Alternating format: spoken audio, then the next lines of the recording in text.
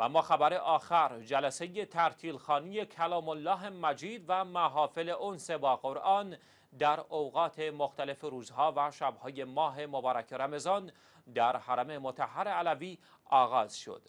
به گزارش واحد اطلاع رسانی آستان مقدس علوی جلسه روزانه ترتیل خانی یک جزء از قرآن کریم همزمان با اولین روز از ماه مبارک رمضان در مسجد بالاسر واقع در رواق حضرت ابو طالب علیه السلام آغاز شد.